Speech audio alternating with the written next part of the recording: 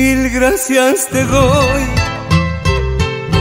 Señor de los cielos, mil gracias por darme paz, salud y amor.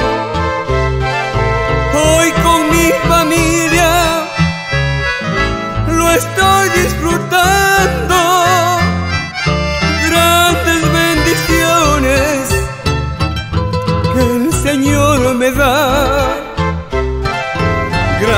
bendiciones que el Señor me da.